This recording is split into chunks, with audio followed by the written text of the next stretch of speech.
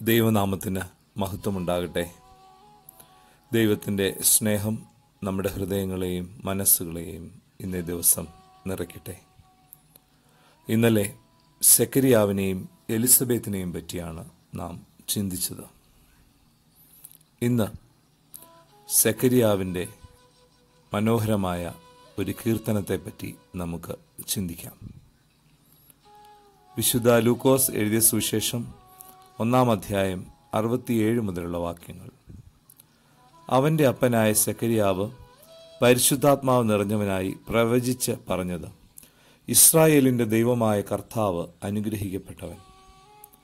അവൻ തന്റെ ജനത്തെ സന്ദർശിച്ച് ഉദ്ധാരണം ചെയ്യുകയും ആദ്യ മുതൽ തന്റെ വിശുദ്ധ പ്രവാചകന്മാർ മുഖാന്തരം അരുളി ചെയ്തതുപോലെ നമ്മുടെ ശത്രുക്കളുടെ വശത്തു നിന്ന് നമ്മെ പകയ്ക്കുന്ന എല്ലാവരുടെയും കയ്യിൽ നിന്നും നമ്മെ രക്ഷിപ്പാൻ. തന്റെ ദാസനായ ദാവീദിന്റെ ഗൃഹത്തിൽ നമുക്ക് രക്ഷയുടെ കൊമ്പ് ഉയർത്തുകയും ചെയ്തിരിക്കുന്നത്. എഴുപത്തിയൊൻപതാം വാക്യം. ആ ആർദ്രകരുണയാൽ ഉയരത്തിൽ നിന്ന് ഉദയം നമ്മെ സന്ദർശിച്ചിരിക്കുന്നു.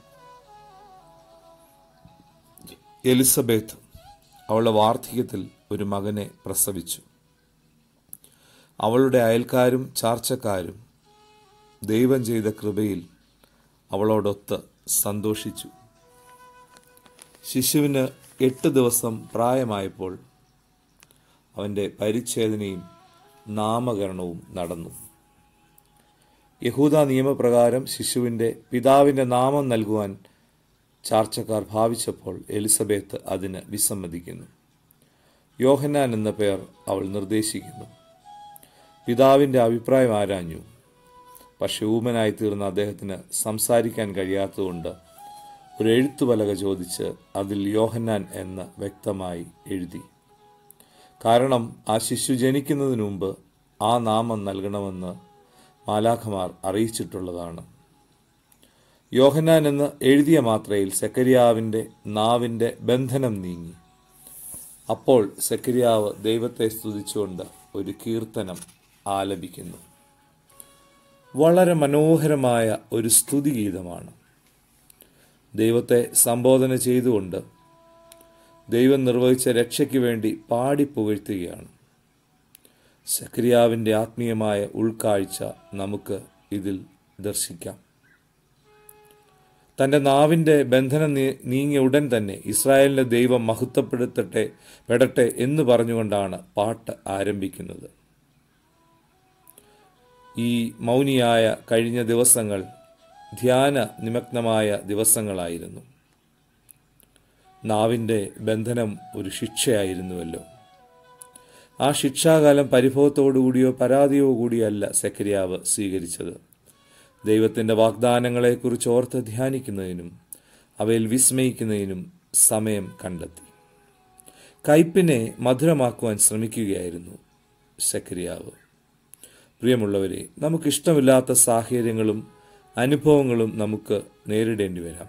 അപ്പോൾ നമ്മുടെ പ്രതികരണം എങ്ങനെയാണ്?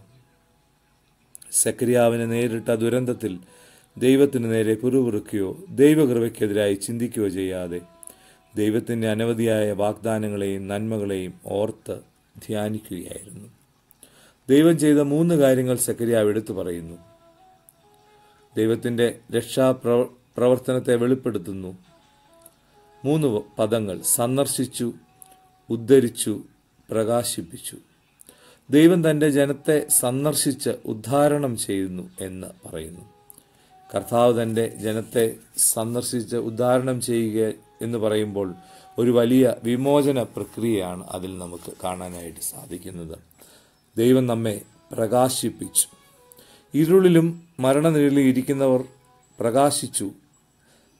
ആർദ്രകരണയാൽ ഉയരത്തിൽ നിന്ന് ഉദയം നമ്മെ സന്ദർശിച്ചിരിക്കുന്നു. ദൈവത്തിന്റെ ഈ രക്ഷാ പ്രവൃത്തിക്ക് നമ്മുടെ പ്രതികരണം എങ്ങനെ? ഇവിടെ സെക്രിയാവ് പറയുന്നു നമ്മുടെ ആയുഷ്കാലം മുഴുവൻ ഭയം കൂടാതെ തിരുമുമ്പിൽ വിശുദ്ധിയിലും നീതിയിലും തന്നെ ആരാധിക്കുവാൻ നമുക്ക് കൃപ നൽകിയിരിക്കുന്നു. പ്രിയമുള്ളവരെ ദൈവത്തിന്റെ അത്ഭുതകരമായ രക്ഷയുടെ സന്ദേശം അനുഭവിക്കുന്ന ജനം പ്രതികരിക്കേണ്ടത് വിശുദ്ധിയിലും നീതിയിലും ദൈവത്തെ ആരാധിക്കുന്നതിൽ കൂടിയാണ്.